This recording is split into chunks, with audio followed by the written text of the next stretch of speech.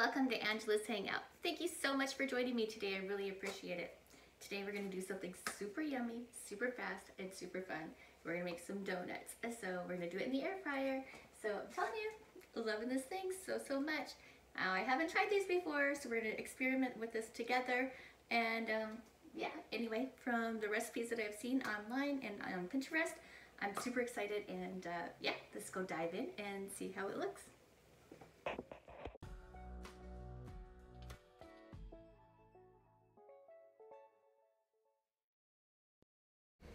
Okay, let's get started. I'm to use just these Grand Biscuits. So I have these on sale all the time at my store. So I picked up, well, actually last time I went, I picked up several.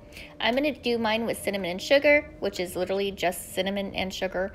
And um, But you could use icing, which is super easy to make, and um, or chocolate or whatever. I'm to use some co um, cooking spray that I got from Costco and some butter and uh, this little, what's that thing called? A baster I don't know, uh, anyway, silicone thing. I'm also going to use the shot glass because I don't have a donut hole maker thing, so I'm just going to use a little shot glass. I Had this thing laying around, so I thought, hey, might come in handy someday, and it is today. Okay, so I think this is probably the most torturous part of the video, trying to open up the can, the canister that has the biscuits in there. So anyway, after messing with it for a little bit, got it open. So I'm just to spread all these out and then um, we're to go ahead and uh, um, take our shot glass. I'm not to oil it or anything because it doesn't really need it. So I'm just to pop out all these little holes that we're to, we're to actually make donut holes with the leftovers and um, just kind of put those to the side. So it's going to make eight donuts and eight donut holes. So that's perfect. So um, here, yeah, here we go. This is the last one right here. So then we're going to take our um, cooking spray and just give it a nice little coat on top. And then we're going to flip it over and give it another coat on the other, underside. So it's coated on all sides, including the donut holes. You want to make sure that those are also coated as well. Okay, so I've had my uh, my uh, my little air fryer oven um, preheating for about it's been preheating for about five minutes. So I'm just gonna go ahead and take out the rack I use some parchment paper just to make sure that it doesn't stick. I don't know if it would, if you need it or not. I just thought as a precaution, um, just go ahead. And since the, um, the little donuts are already greased um, from the cooking spray, we're just gonna put those on there and just make sure that they don't touch, you know, each other and stuff because they're gonna expand. And then um, also do that with the second rack as well. We're gonna do two racks so that we can cook them all at the same time. So just do the same thing to the other one, just pop them all in there and make sure that they're not touching anywhere. And uh, we're gonna go ahead and put those into the air fryer.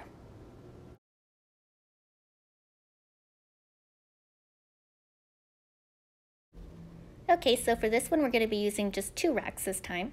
And we're gonna go ahead and turn it on, turn it down to 350 degrees, and we're gonna cook it for, cook it for five minutes. So at the two and a half minute mark, you just wanna um, take them out and then flip, uh, flip them all around, and then five minutes later, this is what you've got.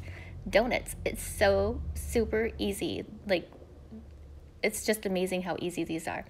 So I'm to put them on a cooling rack, and uh, because mainly because I'm a messy cook, and um, so we can keep everything all nice and uniform. So we're just to brush it immediately out of the oven with some butter and dip it immediately into our cinnamon and sugar.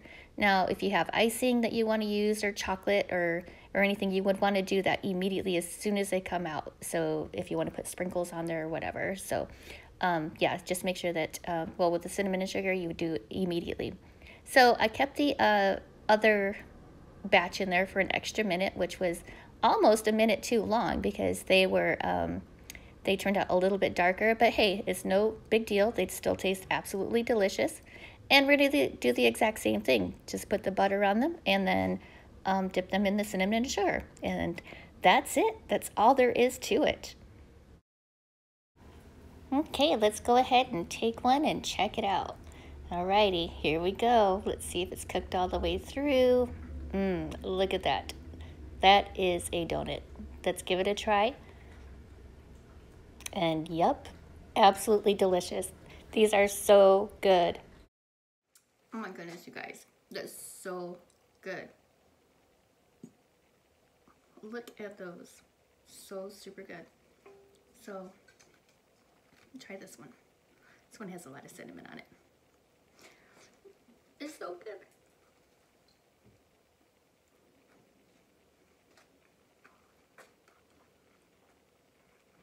See how it fluffs up and everything? Perfect. Oh my god. Definitely must give this one a try. It's so delicious and so easy, right? Oh my gosh. How much more easier can this be? For homemade donuts. And that, you get those on sale all the time for like, I get them for like two for two, two for four dollars and stuff like that. So, and they're so versatile. I love them for everything. So, anyway, thank you so much for joining me today. I hope you enjoyed the video as much as, well, I am. And I hope you give it a try. If you do, leave me a comment in the comment section below. Honestly, I thought that was going to taste like a biscuit that was, you know, just with cinnamon on there. But it is fluffy. It is really good. So, highly recommend. So, anyway, thank you so much for joining me. Hey, if you like this video, please give it a thumbs up. I would certainly appreciate it. And leave me a comment in the comment section below. And um, let me know what you think. If you've tried these before or if you're going to try them, I would certainly like to hear about it. So thank you again. You guys have a great day. Bye-bye now.